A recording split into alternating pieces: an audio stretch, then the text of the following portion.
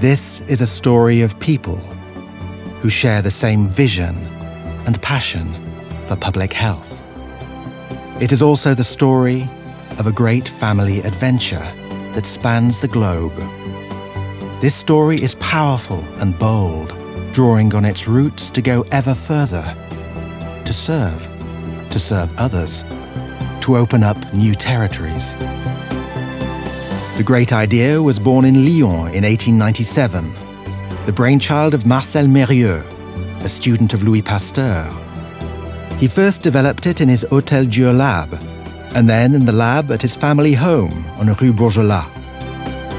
In 1917, Marcel Mérieux bought the Marcy-l'Étoile property because he needed land for the horses he used to produce his therapeutic serums.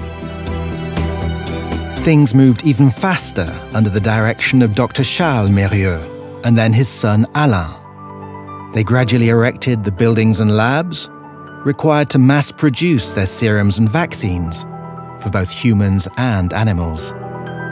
They connected human and animal health in the Pasteurian tradition with no boundaries between the two medical fields.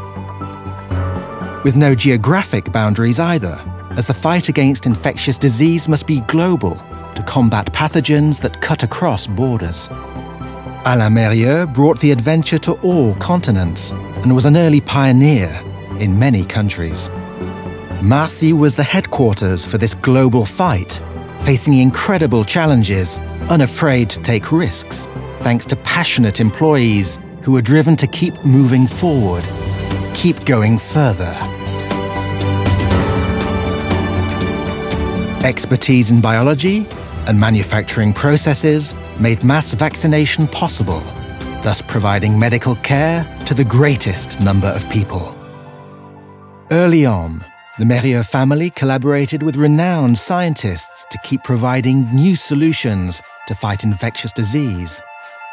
In 1974, when a meningitis epidemic broke out in Brazil, the Marcy-l'Étoile staff achieved something remarkable. In just several months, they produced and sent 100 million vaccines to Brazil in order to vaccinate the entire population, putting an end to the epidemic. Many global fights have been led from Marcy. Victories against polio, childhood illnesses, and major epizootics that strike livestock. There is also the Fondation Mérieux, which supports the least fortunate in developing countries.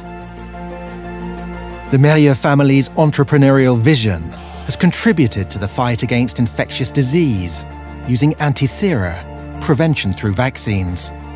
Then it also developed more effective clinical and industrial diagnostics to protect patient and consumer health.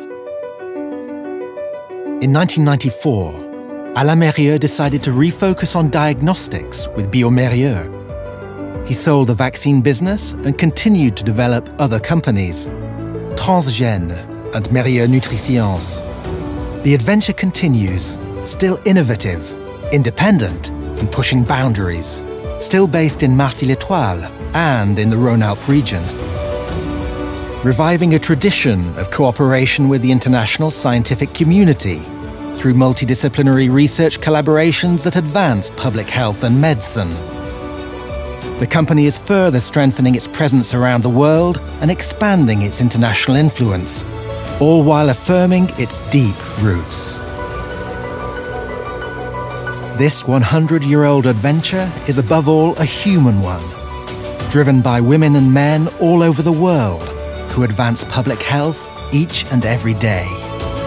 After so many years, the new generation, embodied by Alexandre, continues to invest their passion in Marcy-l'Étoile, where everything started.